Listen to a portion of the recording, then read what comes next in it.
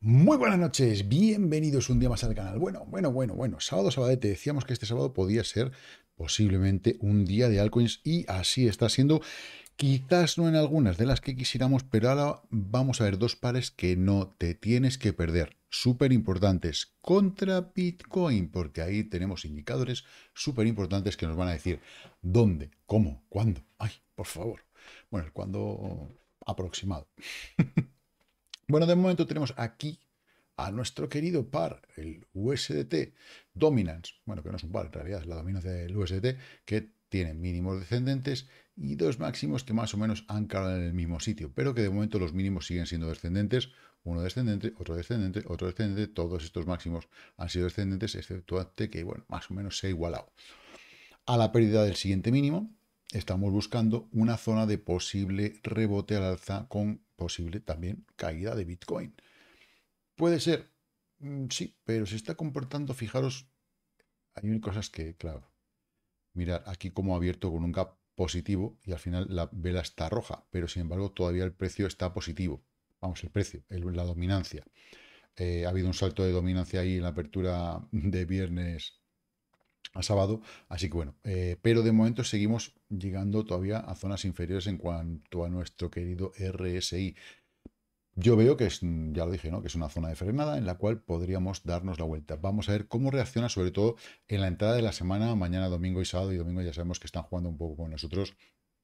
Nos dejan un poquito como el recreo en el patio del colegio, de tal forma que podamos hacer alguna que otra cosita. Recordar muy bien el cierre de los futuros de CME. Ha Bitcoin, tocó el TP1, y bueno, ahí anda paradito en estos momentos. Venga, vamos eh, a marcarnos el qué, lo que nos marcamos todos los sábados.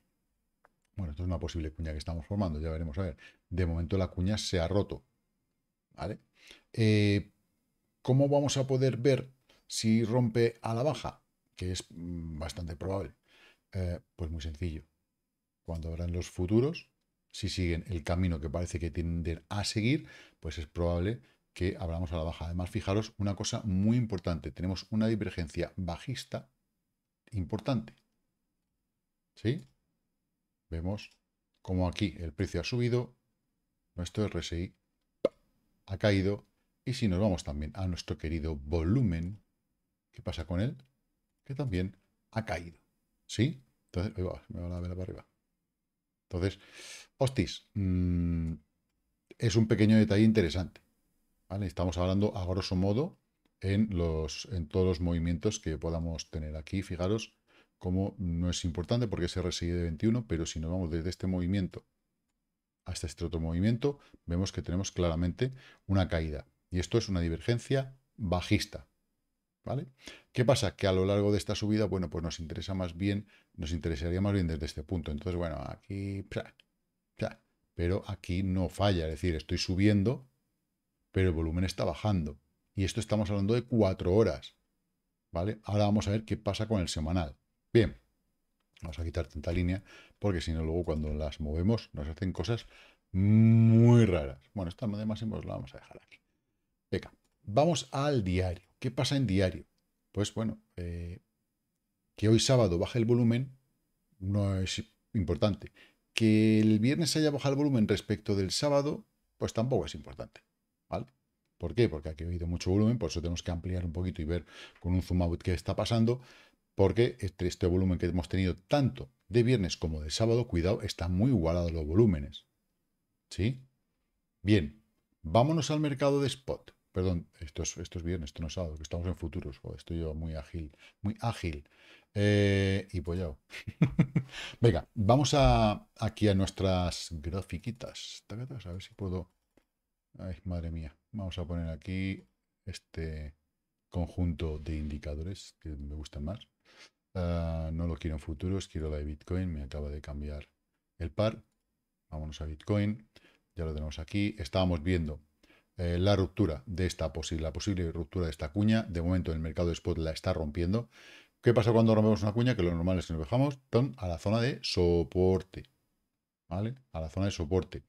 Eh, nuevamente vemos que tenemos una divergencia claramente desde este mínimo hasta este máximo con Vamos a quitar esto de aquí. El RSI de 21. Divergencia bajista. Nuestro querido Alerts nos dice también divergencia bajista. Y bueno, nuestro otro RSI también nos está diciendo bajista. Y además nos ha salido el diario de Entonces, hombre, estos cuatro horas. Vemos también que toda esta subida de cuatro horas de la cuña ha ido bajando el volumen. Lo normal es que vayamos abajo. Eso es lo normal, pero claro, ya sabéis que muchas veces Bitcoin bitcoinea y eh, bueno, pues hace lo que le da la gana. Pero en principio, por técnico, es lo que debe de hacer y donde debe ir. También tenemos que en cuenta que en diario tenemos el RSI súper sobrecomprado.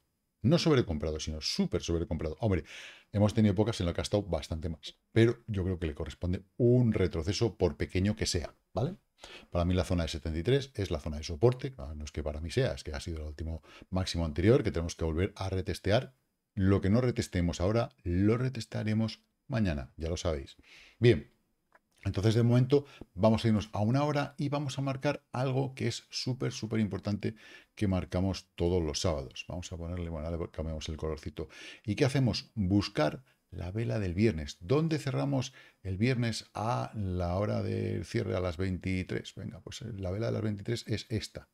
Con lo cual, ¿dónde tenemos que estar? Plaf, ahí, nuestra línea amarilla. Cierre de vela 23. Hemos estado, fijaros, cómo se de soporte, Vamos a para arriba, zona de lucha, la perdemos. Ahora estamos, la hemos llamado a las puertas, no hemos podido. Vamos a ver qué pasa, ¿vale? Vamos a ver qué tal se comporta. Como hemos estado viviendo a lo largo de estas semanas, ha servido de zona de pelea entre soporte y resistencia a lo largo del fin de semana y posteriormente a lo largo de la semana. Importante, muy, muy importante en el muy corto plazo. Tenemos el RSI que ya ha jugueteado por debajo del 50% y llevaba sin hacer eso desde o sea, sin perderlo desde el jueves. El jueves hizo toda esta caída. ¿vale? Estamos hablando del jueves, del jueves día 30 de octubre. Cuidado. ¿Vale? Aquí, perdón, se perdió el jueves 31 de octubre a las 11. Y a partir de ahí testeamos un poquito. y hasta el martes 5 de noviembre no se recuperó. Ahora lo estamos perdiendo. Estamos, ahora mismo estamos, bueno, sí, pues estamos por debajo. Vamos a ver qué pasa. Lo lógico, lo normal, lo dicho, cuña ascendente, implicación descendente. Eh, perdemos RSI 50%, vamos a ver que en las próximas horas se siga perdiendo y quiera jugar a la baja. Luego ya, una vez que juegue a la baja, vamos a ver cuántos rebotes puede tener en la zona de 50, ¿vale? Para poder seguir, para seguir bajando. Eso no lo sabemos. Pero, aunque tenga una pequeña caída y tenga un rebote, ya estamos en la zona de soporte. Mm, que a lo mejor la zona de soporte es esta zona de máximos y, bueno, de soportes y resistencia anterior. Podría ser, ¿por qué no? ¿Por qué no? ¿Vale? 74 y medio. Entonces pues, hay que tener todas esas zonas muy, muy claritas. Eh, pero bueno, la primera es la zona de apertura y cierre de los futuros para ver dónde, si cerramos o no cerramos muy cerca de, ese número. Y luego tener en cuenta dónde estamos en los futuros del CME. Porque en, diario nos queda un poquito de margen para estar muy sobrecomprados en RSI de 21, porque en otros R6 ya estamos sobrecomprados. En cuatro horas, bueno, mm, estamos, ya sabemos, con unas divergencias bajistas. Eh, aquí tenemos el RSI tonteando. ¿Cuánto tiempo va a aguantar así? Eh, subiendo. Mientras esté por la parte superior del 50%, esto va a seguir subiendo, sin problema. Pero claro, no está eternamente así, ya lo sabemos. Sabemos que tiene caídas y que, bueno, eh, todo impulso tiene un retroceso. Y vamos a ver qué noticias tenemos a lo largo de la semana, porque bueno, hemos volado mucho y también hay que respirar y dejar respirar al valor. En cuanto a una hora, pues ya lo hemos visto. seguimos de momento aquí y estábamos por el RSI por encima del, 50%. En el mercado spot ya estamos por debajo del 50%, lo que está generando una brecha. Y aquí habíamos tocado una zona de máximos, el TP1, y empezamos a retroceder. Vamos a ver hasta qué punto, si va a ser hasta esta zona como hemos marcado antes o hasta el inicio de la posible cuña que se ha formado aquí en este movimiento ascendente. ¿vale? El precio se va comprimiendo, se va comprimiendo, se va comprimiendo hasta que llega un momento en que rompe. ¿Puede romper al alza? Sí, la mayoría de estas cuñas, el 70%, por lo menos rompen a la baja. ¿Sí? Venga, eh, ¿qué pasa aparte con el eh, total market? Pues el total market se ha disparado, lo ha hecho muy, muy, muy, muy bien. Además, eh, el volumen total ha estado muy bien. Ya vemos que estas tres velas ha ido bajando el volumen, pero es algo lógico y siempre y cuando este volumen esté por encima de la media del resto de días, pues no es malo que baje, es normal. También por otra parte los movimientos se agotan y también, bueno, o sea, llega el fin de semana. ¿Y qué queremos? También hay que tener muy en cuenta para un posible retroceso, nuevamente, que estamos en una resistencia. Y si estoy en resistencia en, el, en la capitalización de mercado, ¿vale? Estoy en soporte prácticamente, ¿vale? En eh, el USDT. Y también estoy en una resistencia, vamos a ponernos en diario, ¿vale? Con nuestro TP y, bueno, pues ya casi sobrecomprados, eh, tanto en futuros como en presentes, por así decirlo, como el mercado de spot, ¿vale? Estamos súper sobrecomprados.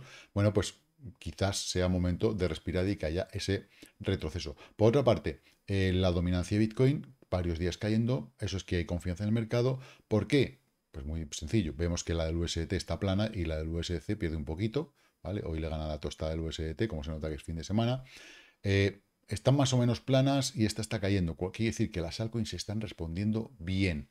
Están respondiendo bien. Entonces, ¿qué pasa con las altcoins? Bueno, eh, cosas muy positivas. Mirar AVAX, que le marcamos el otro de la línea de tendencia. Vimos ese mm, fondo que va a generar BlackRock sobre la red de AVAX, cosa que le da bastante más valor.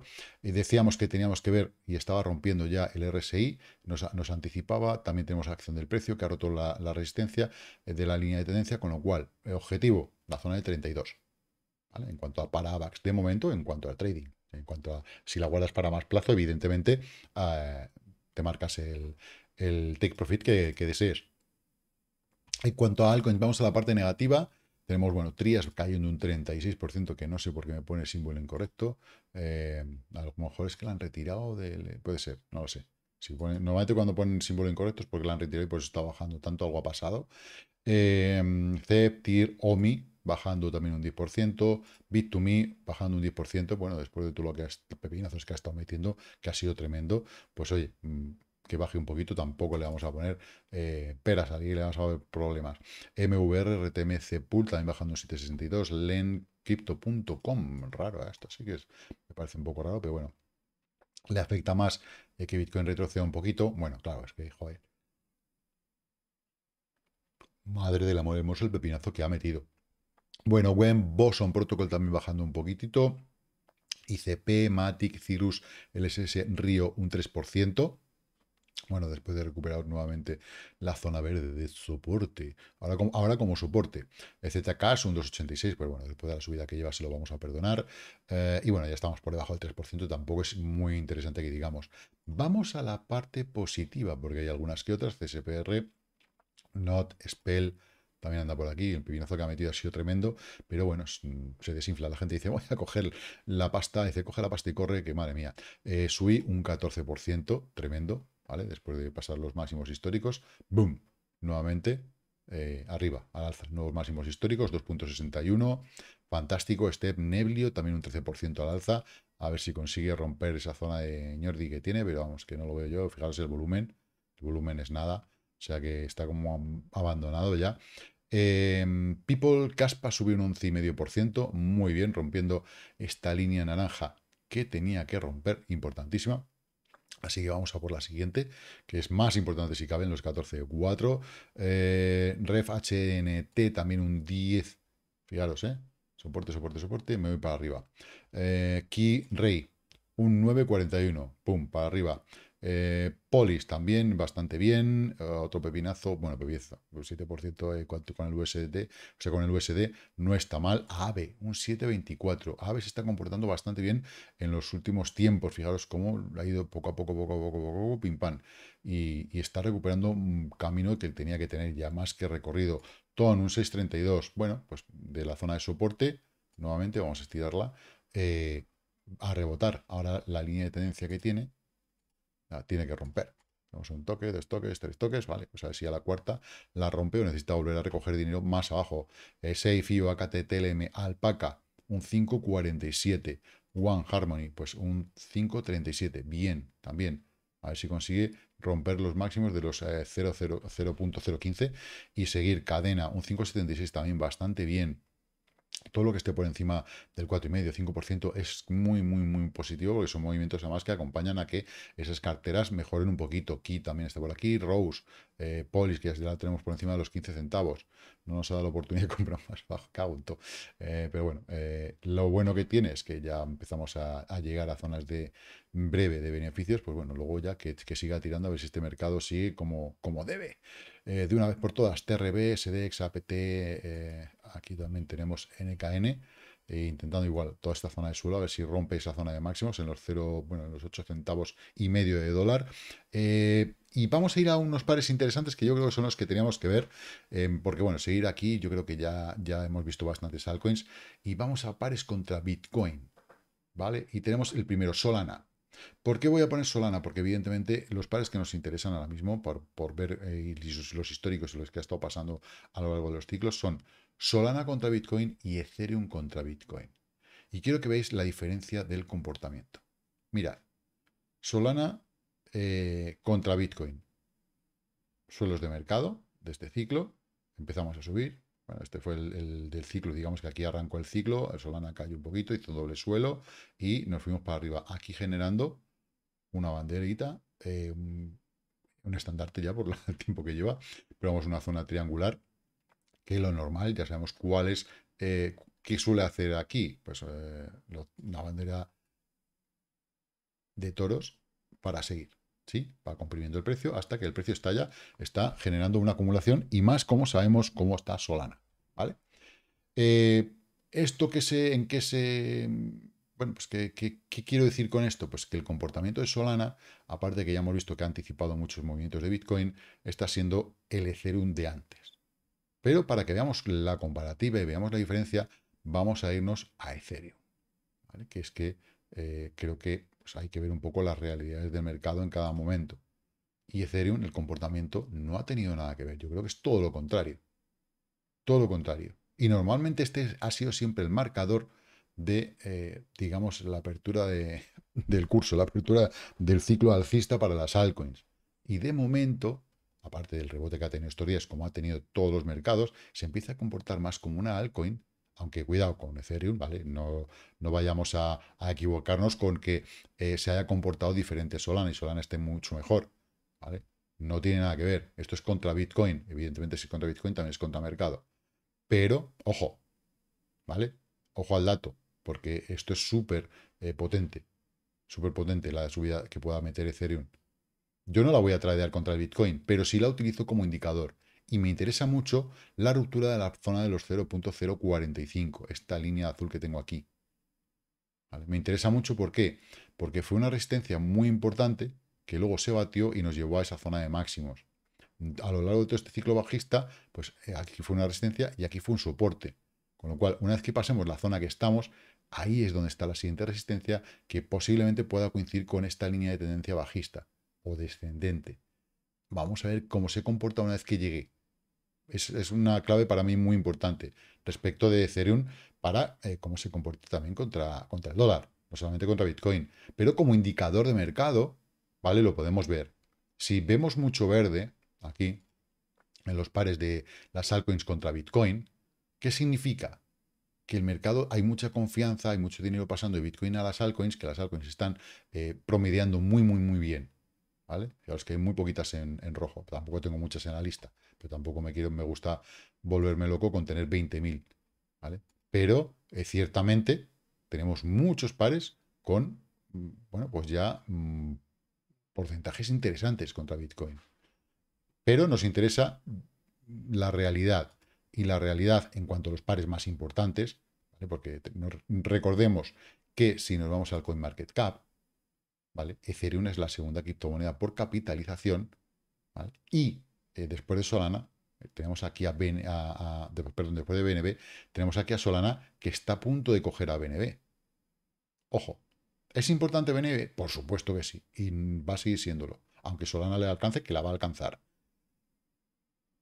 Pero, eh, y no la perdamos de vista, ya lo hemos dicho en varios análisis, pero ahora mismo la importancia de Solana versus la importancia de Ethereum en cuanto a lo que dicta el mercado No a que una sea mejor, otra sea peor, una sea de una, otra sea de otro. Yo soy muy partidista de una. Yo, aquí no existen los partidismos, ¿vale? Aquí lo que existe es lo que el mercado nos dice.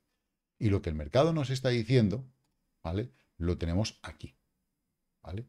Si le metemos una comparativa, tengo por aquí cerca Solana, vamos a meterla.